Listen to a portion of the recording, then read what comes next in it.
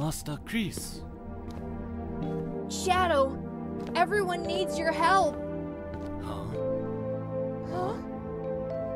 I refuse to believe that you were created just for the sole purpose of revenge. After all, you saved my life on Prison Island, remember? If you were truly created for vengeance, you would have left me there to die! Don't touch me! Ah!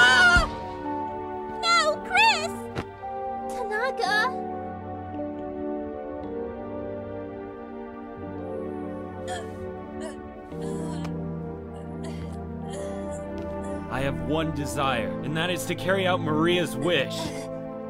And what makes you believe that she would wish for revenge? What did you say? Shadow, please, you must listen to me! Maria wouldn't have wished for this! You can't blame all of humanity for what happened 50 years ago! Can't you see it's wrong? Shut up! Ah!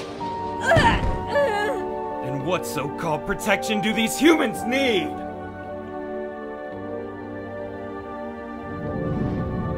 Maria was my only friend, and they took her life right in front of me. She had a disease that prevented her from leaving this place.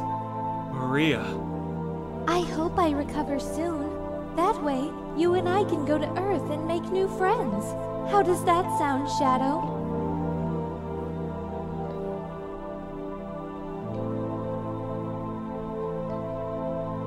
Our dreams were crushed by those people. They only wanted to protect themselves. But at what cost?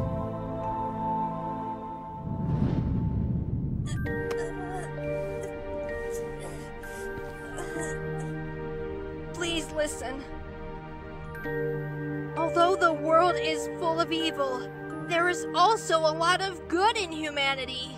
Sure, we all make mistakes, but we learn from them and become better people when we are given the chance to grow. Don't deprive them of a better future. Uh, uh, Shadow, please.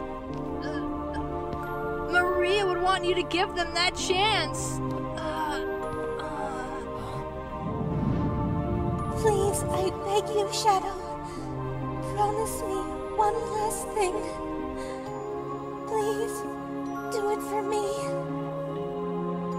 Maria! For everyone who lives on that planet. Give them a chance to live happily. Then our wish will be realized. You were created to help people.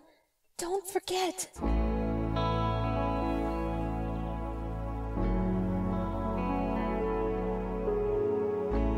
Someone to watch over and protect them. Just like a shadow.